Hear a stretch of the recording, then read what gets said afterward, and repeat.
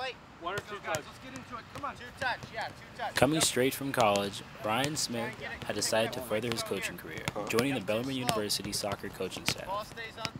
Well, I was really excited when Coach Tim Chastney reached out to me about my interest in helping at Bellarmine. Um, I've done club coaching now for youth soccer for six years, and I was really interested in seeing what the collegiate level was like.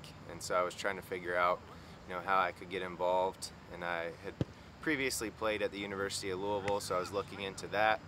And then right about the time I was thinking about it, Coach Chastney had reached out to me and asked if I would like to get involved, and I said absolutely. So I'm just really excited to, to see the difference in what, you know, youth soccer and collegiate soccer offers. Coach Ryan Smith plans to use his experience at the Louisville men's soccer team and his coaching at the club level to help the Bellarmine men's soccer team to further their 8 and 8 record that they finished last season with.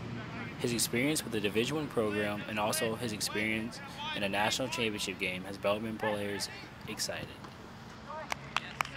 Ryan, you know, when he came in, uh, we knew that he had played in a national championship for U of L, and uh, obviously that was pretty exciting to have someone that's been played at the highest level collegiately uh, coming in and coaching us.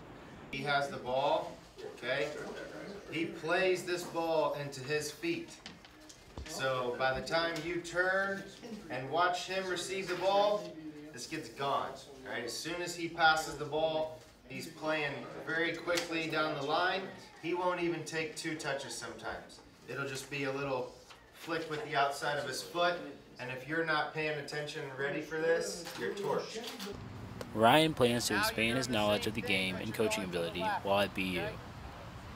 You know, I, I feel like I have a good amount of knowledge in the game, but there's obviously a lot of things to do on a day-to-day basis, you know, whether it's the office side of it or on the field stuff. And I think with Coach Chastney, I've got a great person to look up to in that aspect and the fact that he's been doing this for 18 to 20 years now, so he's a very experienced coach and knows what he's talking about. So I'm just really looking forward to working with him and learning the ins and outs of, you know, what goes into Bellarmine soccer on a day-to-day basis.